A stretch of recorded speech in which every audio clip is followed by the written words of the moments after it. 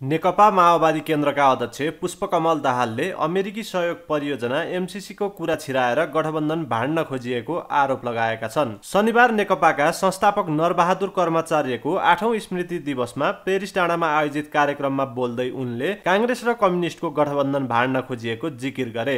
मान्छेलाई दुनियाँलाई थाहा भयो जसलाई घेरा हालेर सिद्ध्याउन खोजिएको थियो जुन मुद्दालाई जुन आन्दोलनलाई जुन लिडरसिपलाई अहिले उनीहरू पा पछारिए झिँ पछारिएको स्थिति छ उनीहरू फेरि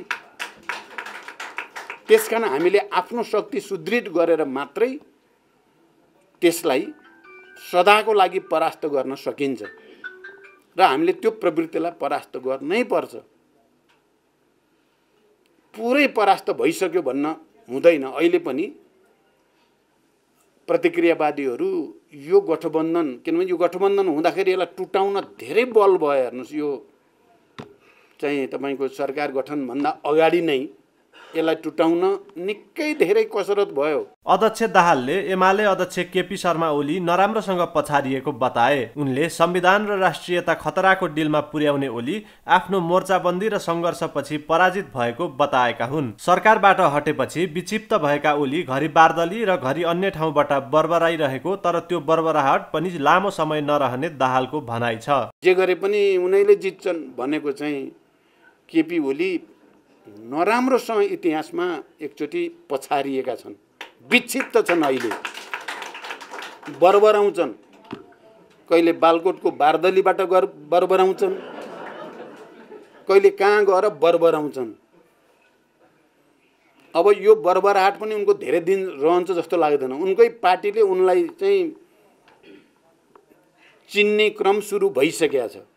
जसलाई उनले आफ्नो हनुमान ठान्छन् त्यो हनुमान पनि अब त्रेता युगका हनुमान त होइनन्। कलियुगका हनुमान हुन् धेरै बोक्दैनन्।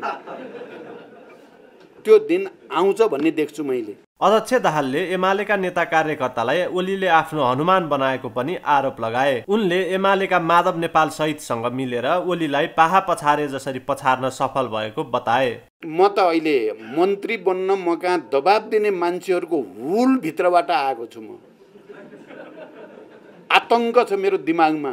कसलाई मन्त्री बनाउने कसलाई नबनाउने। हाम्रो उनपचासजना सांसद सबैलाई मन्त्री चाहिएको छ। हामीले पाउने बढी पाइयो भने सातजना हो। यहाँ मन्त्री नभयो भने चाहिँ नेतृत्वलाई सरापेर हिँड्ने मन्त्री पायो भने मात्रै गर्ने प्रवृत्ति चाहिँ जबरजस्त छ क्या यो अहिलेको परिपाटीभित्र। या ठुलै नियुक्ति पायो भने ठिक छ पाएन भने चाहिँ नेतृत्व चाहिँ बदमासै हो भन्न बेरै नलगाउने। भीम रावलले संसद पदबाट दिएको राजीनामा पनि गठबन्धन पक्षका नेताबीच फाटो ल्याउन गरिएको षड्यन्त्र भएको दाहालको भनाइ छ। उनले मन्त्री बन्न इच्छुकहरूको हुलले आफूलाई घेरेको पनि गुनासो गरे।